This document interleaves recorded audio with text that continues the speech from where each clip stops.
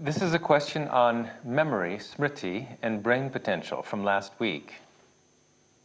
Maharishi explained last week that by awakening smriti, or memory, through transcendental meditation, we awaken our creative potential.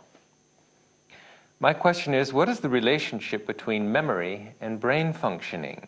Is there a direct correlation between how much we remember who we are and how much of our brain we use? Brain is made of memory. you know, the whole physiology of the eyes, of ears, and, and this, and this, and this, and this. This is what? From memory only. Memory is, memory is an element which is functional. and what other thing is functional is that of which the memory is made.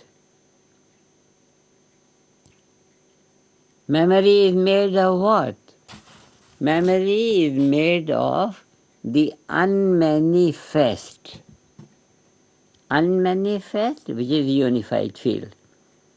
Unified field has all the memory within it. Innumerable memories are within it. One example that the, the hollowness of a banyan seed it's all hollow, there's nothing there. But in that hollowness, memory of thousands of leaves and branches and flowers and fruits. Whole tree is within the memory of the unmanifest. This unmanifest is the, is the empty space empty. Unmanifest is empty, there is nothing in it, but it has all the memory within it. and that word in the Vedic literature is Puran. Puran is ancient, they say, ancient. It is not translated as ancient. That means it's ancient, it's always ancient, it's always ancient. It's always full of memory. And what memory is there? Sanskrit expression for it is yatha purvam akalpayat, as it was before. Because for memory there has to be something before of which the memory will continue. So the memory is of that which is called ancient, Puran, the self. Ancient. That, then the ancient, the unmanifest, is very interesting, huh? The unmanifest is the material of which memory is made. And what the memory has? The memory has all that is going to manifest, and memory is that which was manifest before unmanifest.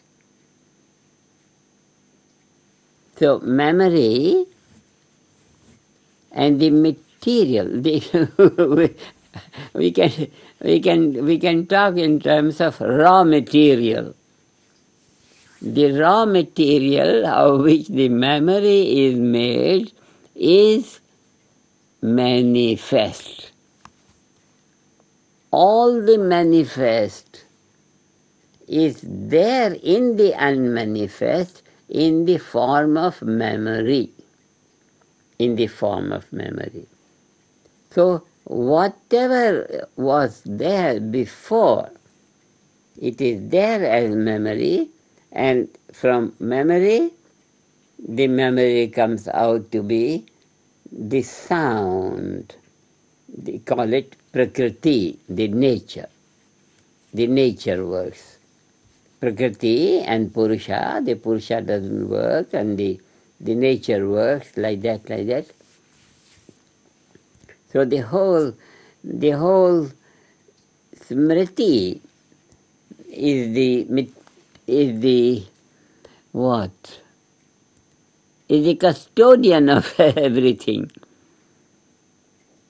Is the unmanifest. Just that example of a hollowness of a seed in which the total tree is there, but it's there in the memory form. From that memory, it springs out, it becomes manifest. So the unmanifest, unmanifest is made of memory, complete smriti, smriti labdhva. Now, our meditation, analyze this meditation program, we have to get to the transcendent. It is get to the transcendent. It is get to the transcendent. What we are doing? We are memorizing something that has gone out of our memory.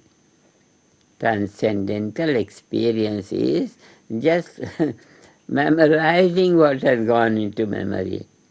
And then what happens is, this transcendental remains to be an all-time memory, more concrete memory.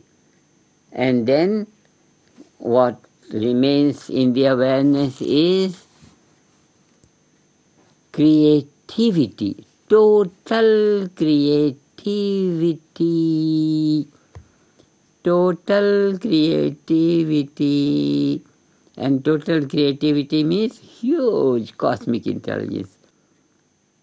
This is possible through education to any single man.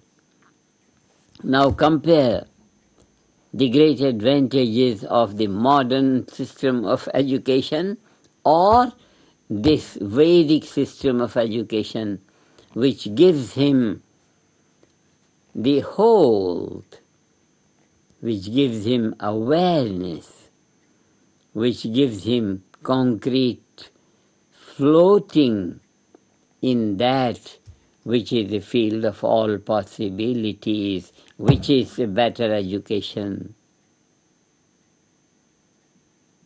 It's a different world. It's a different world. Either you become a shopkeeper in a, in a market or you own the whole market. You own the whole market. To learn to become the, the master of the market, that is one training.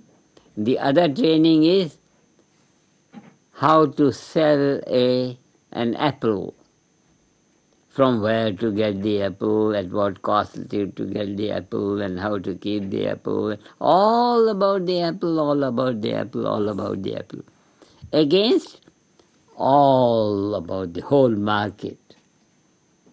This is that Vedic education which is going to be made available by the governments of every country now when the peace government is going to come out. But because people have not known, have not seen, they say what or what. They all depend upon the how the government acts and all that, all that. But whatever the government acts is frivolous. It's very, it's childish. It's it's uh, it's not right. That's all to say. It's a complete different civilization, Vedic civilization. Vedic civilization.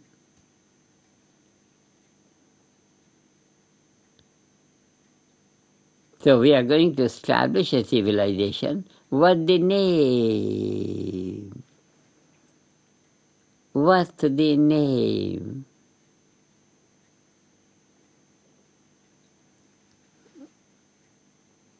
And we have started on a global level, 108 countries, and one, two, three, four.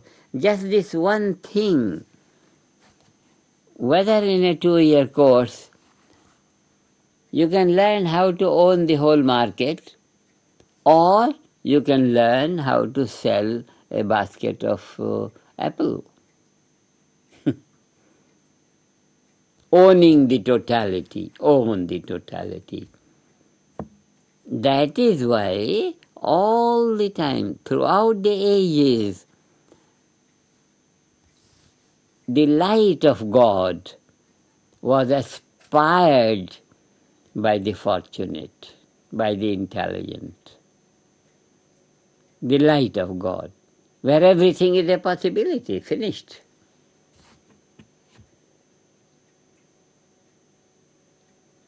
It's very beautiful time for us. It's so beautiful.